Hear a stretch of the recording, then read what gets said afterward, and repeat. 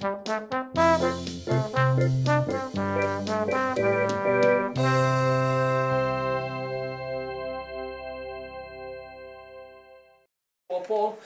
it's a European company. The good thing about this is it offers a really large uh, noose. Um, the downside, it also has a quick release mechanism so that the animal cannot get tangled, tangled up in it.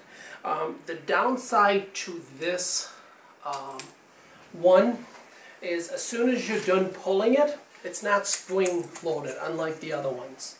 Um, so as soon as you're done, um, if you miss, you have to stick your foot inside and then pull backwards to redo it. It's a nice pole, it's a nice concept, it's got heavy grips though they are hard plastic. Um, the um, pole is it's uh, lasted quite a while and I definitely like like this even though it does not have a spring.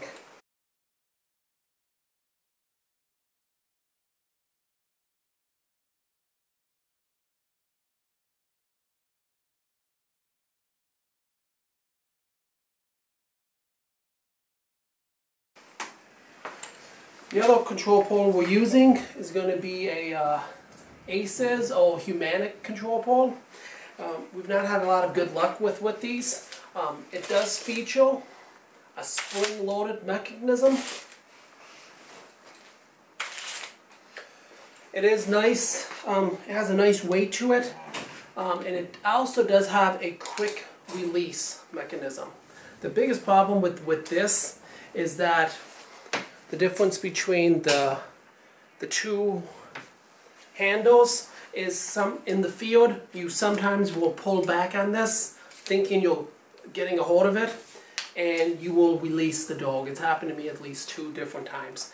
Um, these also have a tendency to bend and they also have a tendency to with with this um, instant release um, it tends to snap after a while. Um, we went through about four of them in a very short amount of time.